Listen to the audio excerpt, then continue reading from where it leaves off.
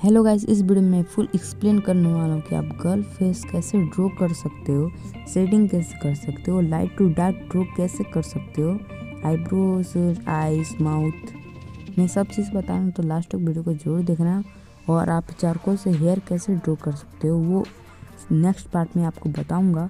तो सबसे पहले यहाँ पे मैं आईब्रोज ड्रॉ कर लेता हूँ लाइट ड्रॉ करके, जैसे कि आप देख सकते हो यहाँ पे।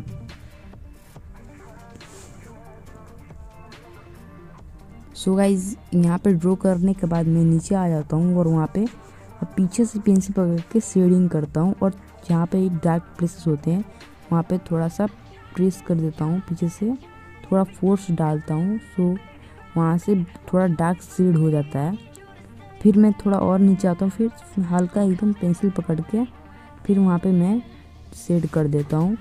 फिर ऊपर में थोड़ा सा मुड़ा हुआ रहता है तो मैं वहाँ पे थोड़ा सा हल्का पे मुड़ा देता हूँ, फिर वहाँ पे शेड कर देता हूँ, फिर वहाँ पे मैं फोर बी पेंसिल से आईब्रोज ड्रॉ कर लेता हूँ, फिर वहाँ पे शेड करके ऊपर भी मैं यहाँ पे फोर बी पेंसिल से ड्रॉ कर ले नोज़ ड्रॉ करने के लिए मैं एच बी पेंसिल का यूज़ करता हूँ सबसे पहले, फिर फोर बी पेंसिल का यूज़ करता हूँ, फिर आप यहाँ पे देख सकते हो।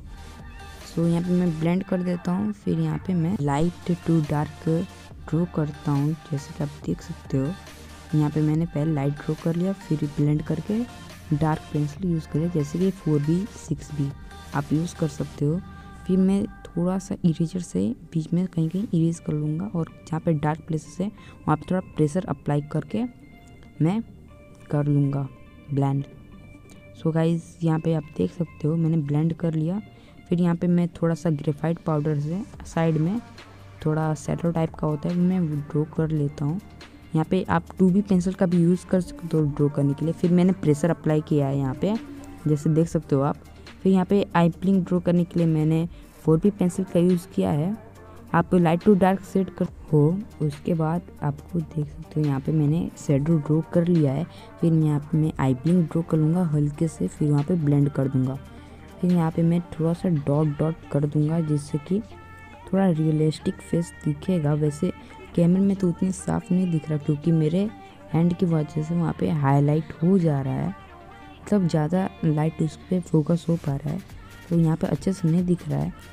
सो गाइज़ यहाँ पे मैं ग्रेफाइट पाउडर यूज़ कर रहा हूँ टू का तो आप यूज़ कर सकते हो। फिर यहाँ पे मैंने टू बी पेंसिल से पीछे, एकदम पीछे से पकड़ के मैं वहाँ पे मतलब शेड कर रहा हूँ। जैसे कि आप देख सकते हो, एकदम हल्के पे करना है, ज़्यादा प्रेशर अप्लाई नहीं करना है। उसके बाद ब्लेंड कर देना है। जैसे कि आप देख सकते हो यहाँ पे। फिर यहाँ पे आपको क्या करना है, जहाँ पे हाईलाइट थे, वहाँ पे हाईलाइट कर देना है, जहाँ पे डार्क थे, वहाँ पे डार्क कर देना है। सो लिप्स ड्रो करने के लिए आपको बस ऊपर की तरफ़ स्टॉक करना है और नीचे की तरफ़ स्टॉक करना है। जहाँ पे हाईलाइट है, वहाँ पे हाईलाइट थोड़ा सा कर देना है इरेजर से बाद में। यहाँ पे मैंने ब्लेंड कर दिया है, फिर वहाँ पे इरेजर से हाईलाइट कर लेता हूँ। जैसे कि आप देख सकते हो उसके बाद मैं नीचे नेक पे आ जाता हूँ। वहाँ पे शेडिंग करने के लिए टू पेंसिल से। मैं पीछे से पकड़ के शेड कर लेता हूँ।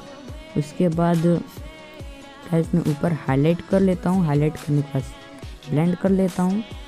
और फिर यहाँ पे मैंने, यहाँ पे टिप ड्रॉ करने के लिए मैकेनिकल पेंसिल यूज़ किया है। फिर यहाँ पे डार्क करने के लिए टेन भी पेंसिल यूज़ किया है। सो गाइस यहाँ पे देख सकते हो आप। इसके बाद मैंने जो न्यूज़ होते थोड़ा उसको हाईलाइट कर दिया हैंड से थोड़ा स्किन टेक्सचर देने आई होप आपको ये वीडियो पसंद आए होगी। पसंद आए तो लाइक कर देना शेयर कर देना और सब्सक्राइब कर देना। सो गाइस कल के वीडियो में हेयर कैसे ड्रॉ कर सक कर सकते हैं चारकोल पेंसिल से वो मैं अपलोड करूँगा। सो गाइज़ अगर इस वीडियो पे हंड्रेड लाइक आते हैं तो मैं आज ही अपलोड कर सकता हूँ। तब तक के लिए बाय बाय